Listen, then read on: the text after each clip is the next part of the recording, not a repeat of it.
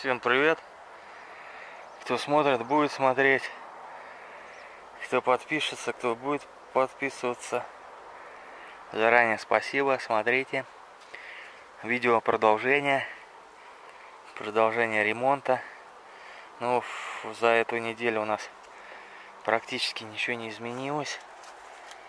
Вот, хочу всем показать те ошибки, которые совершаем мы, не совершайте вы. Так, первая ошибка. Не встает он. Это Бычковский. Вентилятор охлаждения. Все нормально, хотели поставить, чтобы как бы все было нормально охлаждалось, но не встает. Поставили простой свой четырех. Да, вот еще новое приобретение при последнем старте у нас вот эта вот штучка произвела вот такой вот ремонт лопастей. И ремонт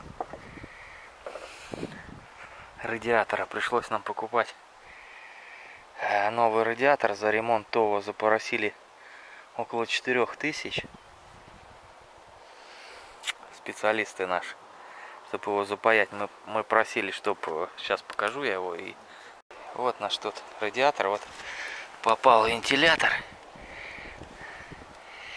И вот загнул самый большой. Здесь 8 штук. Мы просили вскрыть и запаять снутри каналы, чтобы вот это вот здесь остались и здесь, чтобы зимой у нас он не замерз.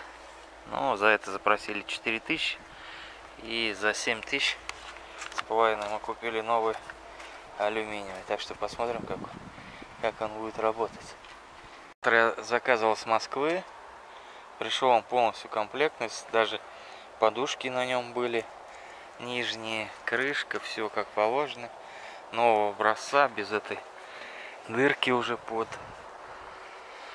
гидроусилитель.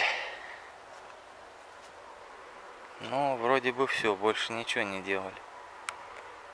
Ладно, посмотрим. Кабину еще не доварили.